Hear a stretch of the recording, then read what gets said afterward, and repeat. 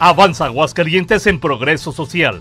con un crecimiento sostenido en su economía y los mayores puntajes nacionales en necesidades humanas básicas, fundamentos del bienestar y oportunidades, el estado de Aguascalientes se coloca en el segundo lugar a nivel nacional dentro del índice de progreso social. De acuerdo al mapa de la prosperidad compartida, dado a conocer ayer martes por el organismo México Como Vamos, en Aguascalientes, el progreso social es similar al observado en entidades del sur de los Estados Unidos, tales como Luisiana, West Virginia, Nuevo México, Texas, Arkansas y Mississippi. Los principales indicadores que nos colocan en esta posición son los altos puntajes y el desempeño superior en nutrición y cuidados médicos básicos, agua y saneamiento, vivienda, seguridad personal, acceso a conocimientos básicos, acceso a información y comunicaciones, salud y bienestar,